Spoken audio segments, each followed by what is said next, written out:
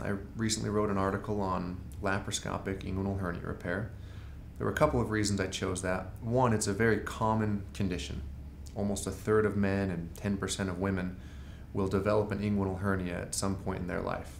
Not all of those become symptomatic and require repair, but a large percentage of them do. So I thought it would appeal to a, a, large population of people that might be interested in it.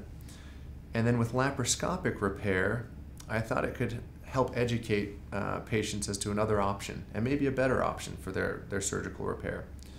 Benefits unique to laparoscopic surgery include a shorter recovery time, less postoperative discomfort, better cosmesis, in my opinion, and the ability to repair either recurrent hernias or bilateral hernias through the same small incisions.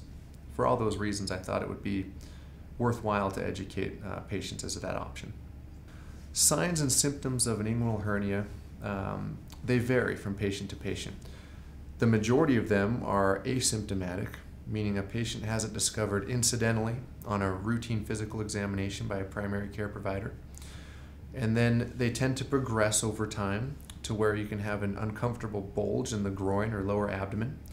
They tend to enlarge over time, and they can become what we call incarcerated or stuck, where the hernia will protrude from the abdomen or the groin but won't go back in.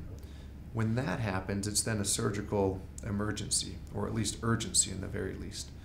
So I think it's important for patients who have a hernia to at least have consulted with a general surgeon so they know management options, whether it's watchful waiting or whether it's heading directly to the operating room.